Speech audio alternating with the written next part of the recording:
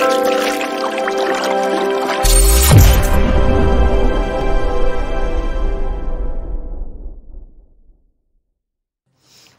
and welcome back to PK TV. My name is Emmanuel Kwesi Mensah. I know it's been a while.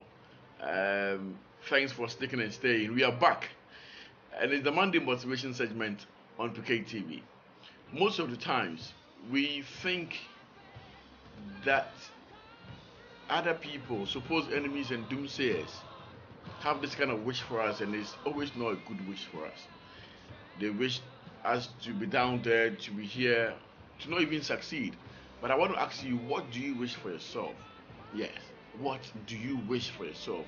For God, His wish for us, He's made it clear that I wish above all things that you prosper and be in good health, even as your soul prospered. So for God, He's He sealed His own. It's there. And now you're thinking about a supposed enemy or a doomsayer who is also wishing bad for you. But what have you wished for yourself? What do you wish for yourself? You know something?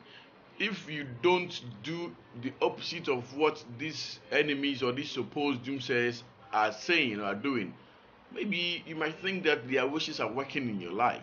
But today, yeah, I'm charging you to wish good things for yourself. Wish the opposite of what your enemies or your doomsayers supposedly are wishing for you.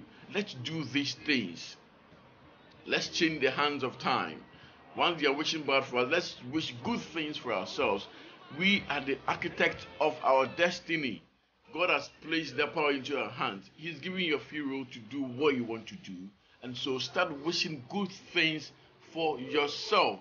By so doing, where you want to get to, the great people that we want to be, the, the great personalities that we, we want to become, we will become that or those people this year is the year of recovery, and so anything that we do, let's make sure that we do it well so we can recover all that 2020 got away from us.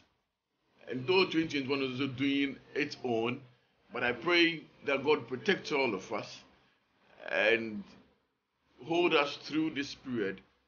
It's a very tough period for all of us because the new strain of the coronavirus is not that easy. But hey, God will protect you. But protect yourself. Wear the nose masks. Wear the nose masks. Use the hand sanitizers and all that. Wash your hands thoroughly, regularly. Let's get through this together. We were able to do it in 2020. Let's not lose guard. We'll go through successfully. And at the end of the day, we'll come up victorious. But wish good things for yourself. I'm wishing you a very great week. May God speak to your life and speak into your situation. God bless you.